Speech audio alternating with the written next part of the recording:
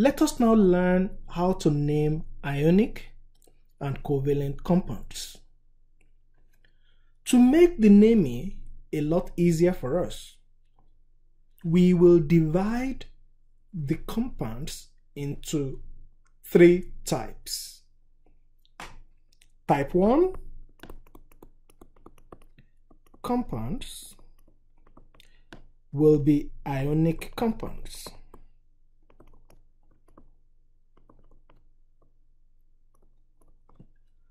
Type 2 compounds will also be ionic compounds. While type 3 compounds will be covalent compounds.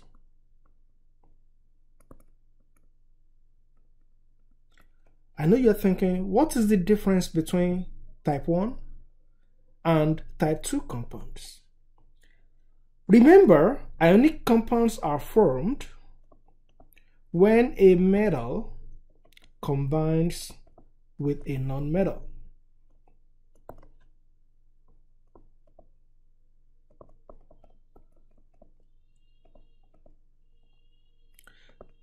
The difference between type 1 and type 2 compound is in the type of metal in the compound.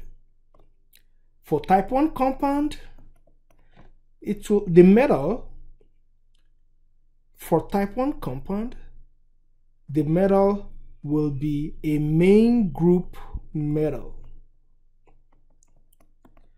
which means it will be a metal that has a certain charge that we know, which means it will be from group 1A, group 2A, or group 3A. On the other hand, the metals in type 2 compounds will be transition metals.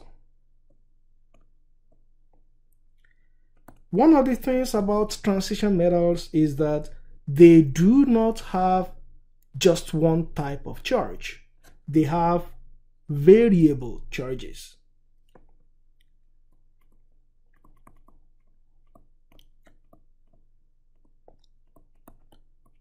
So you don't really know exactly what charge they have until you have actually calculated the charge.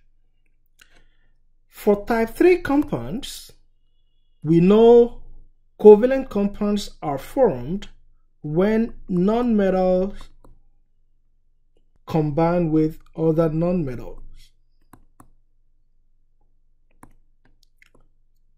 Or when semi-metal combine with nonmetal. It is very essential that you know these three types of compounds. Let us begin with type 1 compounds. How do we name type 1 compounds?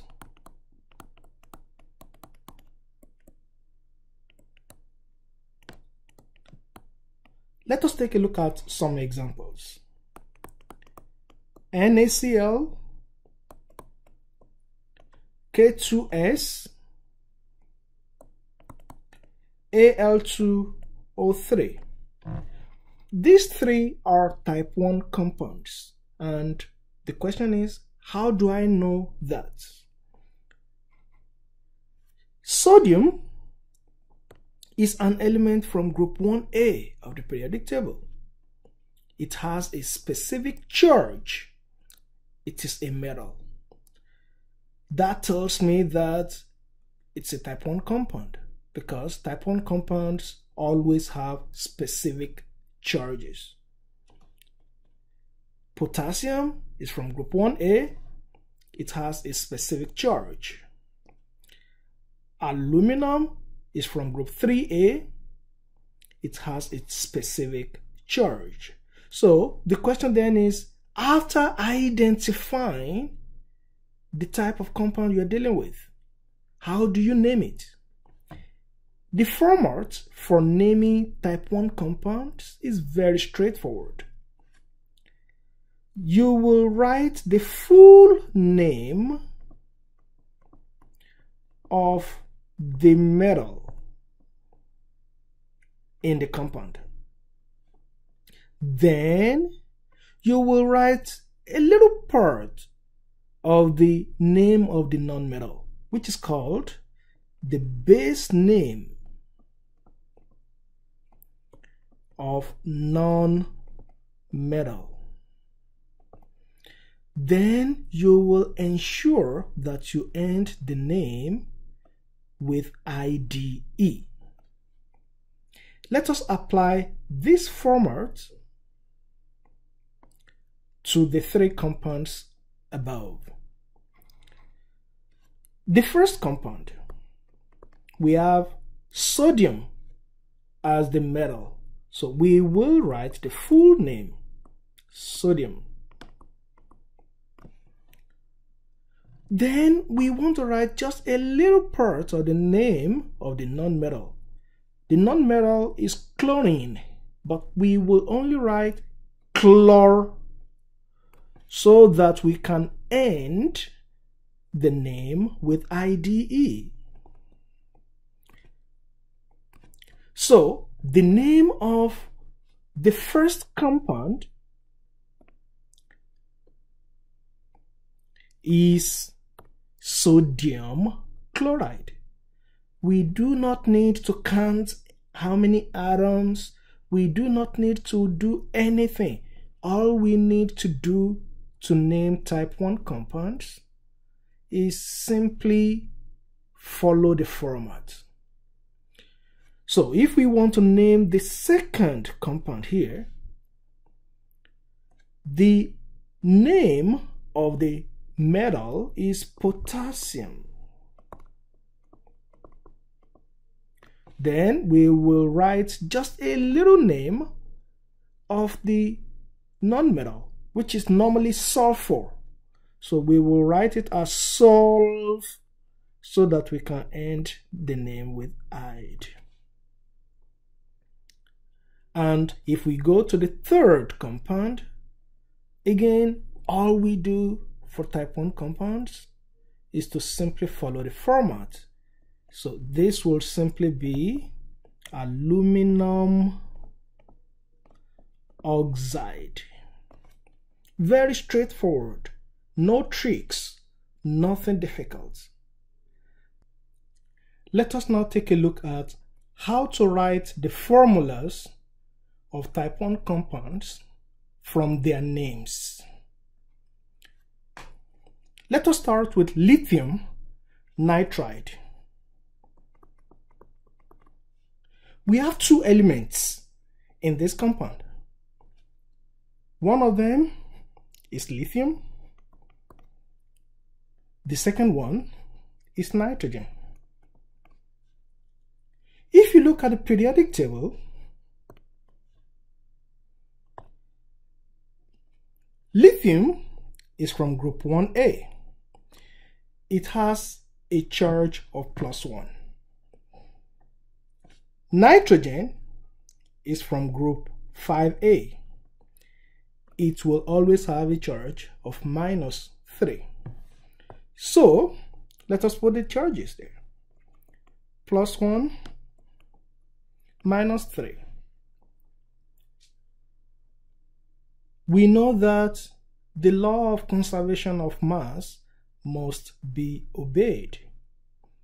The total number of electrons to be lost by lithium should be equal to the total number of electrons to be gained by nitrogen. Nitrogen wants to gain 3 electrons. Lithium only has 1 electron to be given out. So we will need 2 more lithium so that the total number of lithium will be 3 and the total number of electrons to be given out will be 3. which will completely balance out the total number of electrons to be gained. So the formula of the compound that can be formed between lithium and nitrogen will be Li3 because there are three lithium and one nitrogen. So the formula for lithium nitride will be Li3N. Let us take a look at the second one. Calcium bromide. Again, we have two elements. The first one is calcium. The second one is bromine. Take a look at the periodic table. Calcium is from group 2A, which means it will always have a charge of plus 2. Bromine is from group 7A. It will have a charge of minus 1. So plus 2 minus 1. But we know the total charges on calcium and on bromine must cancel out, which is another way of saying that the total number of electrons to be gained must be equal to the total number of electrons to be lost. Calcium now has a charge of plus 2. We will need one more bromine so that the total number of negative charges will be minus 2 to balance out the total positive. And that is going to give us a compound CaBr2. That will be the formula of calcium bromide. Let us now write the formula for aluminum phosphide. Aluminum phosphide will have a formula of Al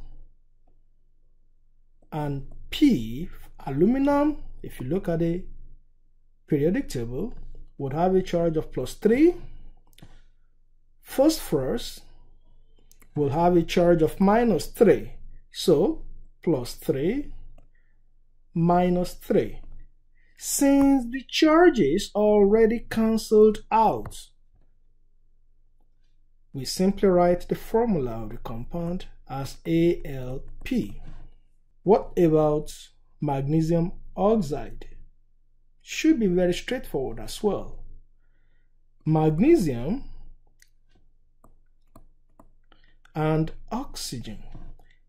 Magnesium is from group 2A in the periodic table Oxygen is from group 6A in the periodic table. Magnesium will have a charge of plus 2. Oxygen will have a charge of minus 2.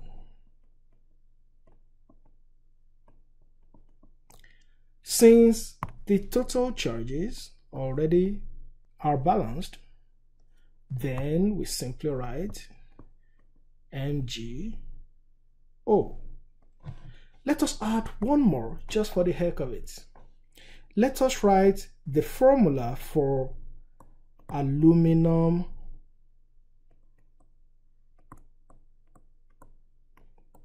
sulfide. Aluminum will have a charge of plus 3.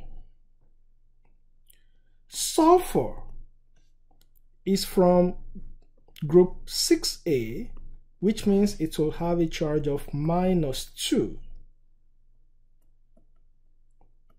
So, how do we ensure that the total charges are balanced on aluminum and sulfur? We would need one more aluminum and we will need two more sulfur ions so that the total positive will be 6 and the total negative will be 6 so the formula of the compound will be Al2 S3 That is how we write the formulas of type 1 compounds from their names.